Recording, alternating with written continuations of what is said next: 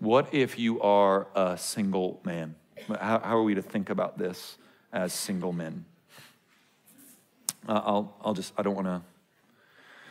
Because if you're a single man, you're going, well, I don't have a wife. And um, if you're a single man, you're like, well, I'm not an elder. And so, how, how would I practice your definition of manhood if um, if I don't have a wife and aren't an elder at the church, okay? A single man images headship. He doesn't have it as much as he images headship with a borrowed authority. Single men have no authority over any woman in this congregation unless they are your young daughter you are an elder in this church. By being male, that does not give you some intrinsic authority over any other woman.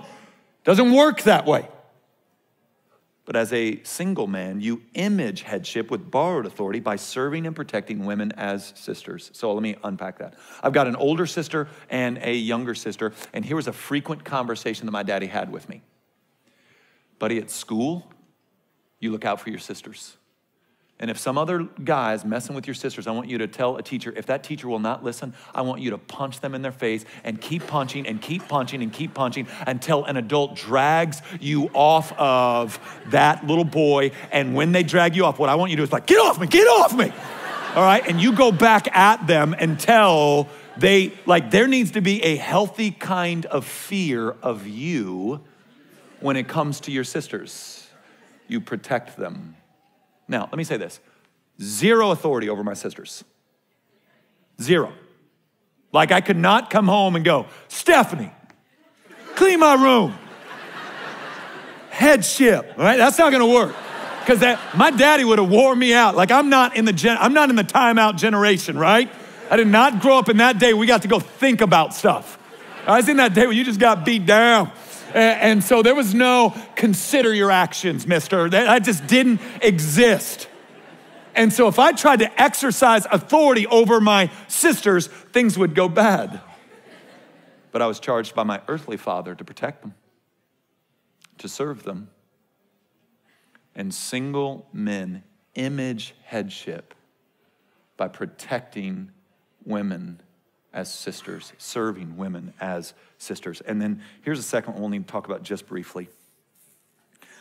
Single men image headship with borrowed authority by seriously pursuing godly women to marry unless has one, one has the call or the gift of singleness. So if you're a single man in any of our campuses and you're like, I've got the call of singleness, don't think God wants me to get married. I'm gonna use all the time that I have to serve the Lord and to push back darkness in the world. Praise God.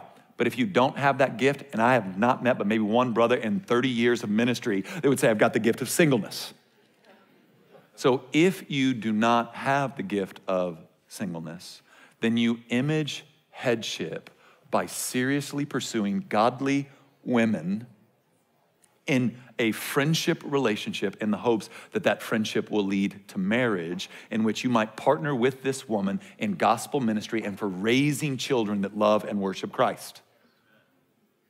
And to not do that is to be outside the bounds of what God has called you to in purpose and design around manhood.